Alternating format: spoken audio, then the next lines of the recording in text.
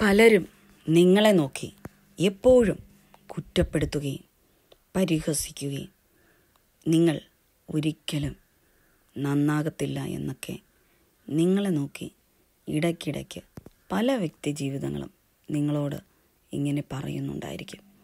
നിങ്ങളെക്കുറിച്ചും പലരും പലരോടും അവൾ ഒരിക്കലും നന്നാകത്തില്ല എന്നും നിങ്ങളെക്കുറിച്ച് പരിഹാസിക്കുകയും നിങ്ങളെക്കുറിച്ച് കുറ്റപ്പെടുത്തുകയും ഒക്കെ ചെയ്യുന്നുണ്ടായിരിക്കാം. നിങ്ങളെ നിന്ദിക്കുന്നുണ്ടായിരിക്കാം. എന്നാൽ നിങ്ങൾ മനസ്സിലാക്കേണ്ടത് നിങ്ങളെ വിളിച്ച ദൈവം വിശ്വസ്തനത്രേ. നിങ്ങളെ വിളിച്ച ദൈവം വാക്കുമാറാത്തവനത്രേ. നിങ്ങൾ നോക്കേണ്ടത് ദൈവത്തെ മാത്രം ക്രിസ്തുവിനെ മാത്രം യേശുവിനെ മാത്രം.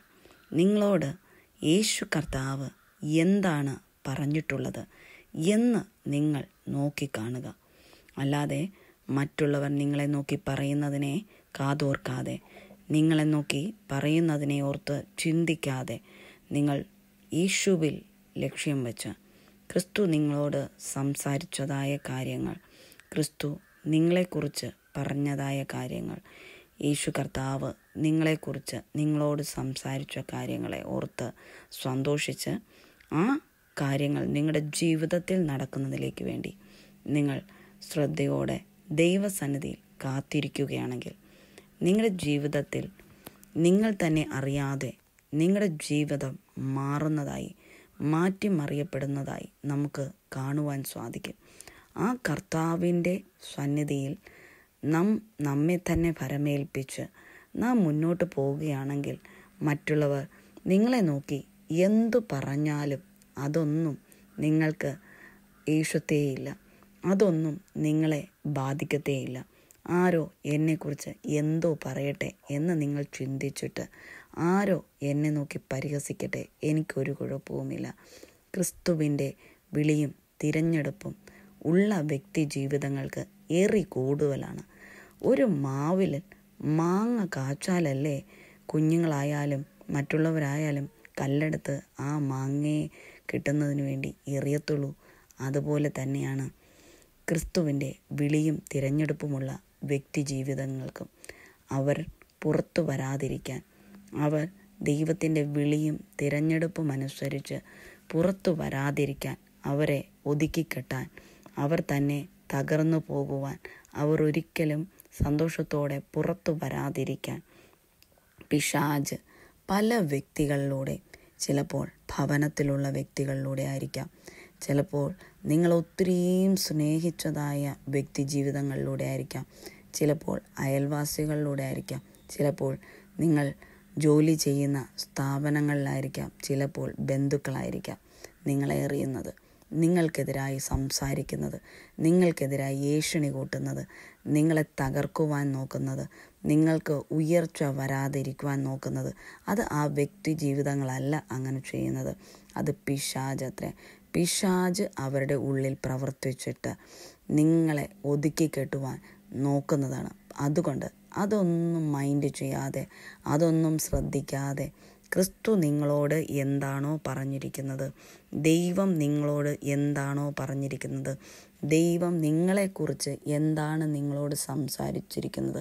ആ ലക്ഷ്യത്തിലേക്ക് എത്തുവാനായി നിങ്ങൾ ദൈവസന്നിധിയിൽ താണിരുന്ന് ദൈവത്തോട് യാചിക്കുകയും പ്രാർത്ഥിക്കുകയും ചെയ്യുകയാണെങ്കിൽ തീർച്ചയായും ദൈവം നിങ്ങളെ കൃത്യസമയമാകുമ്പോൾ ദൈവം ആഗ്രഹിക്കുന്ന സമയമാകുമ്പോൾ പുറത്തു കൊണ്ടുവന്ന് ദൈവം മാനിക്കും.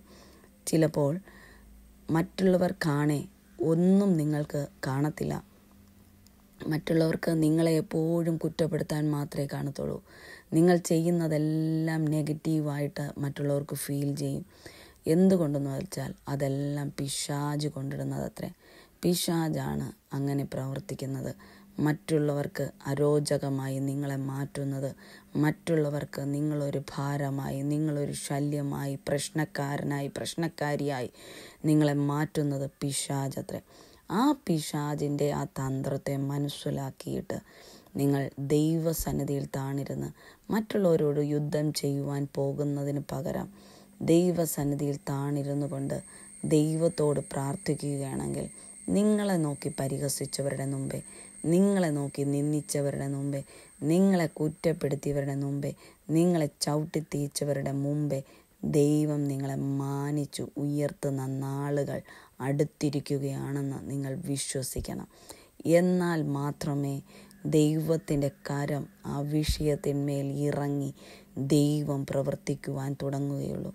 നിങ്ങൾക്കെതിരായി സംസാരിച്ച നിങ്ങൾക്കെതിരായി ശബ്ദിച്ചതായ നിങ്ങൾക്കെതിരായി പ്രവർത്തിച്ചതായ വ്യക്തി ജീവിതങ്ങളെ ദൈവം മനസ് അവരെ അവരുടെ വായ അടയ്ക്കുവാൻ ദൈവം ഇടയാക്കും.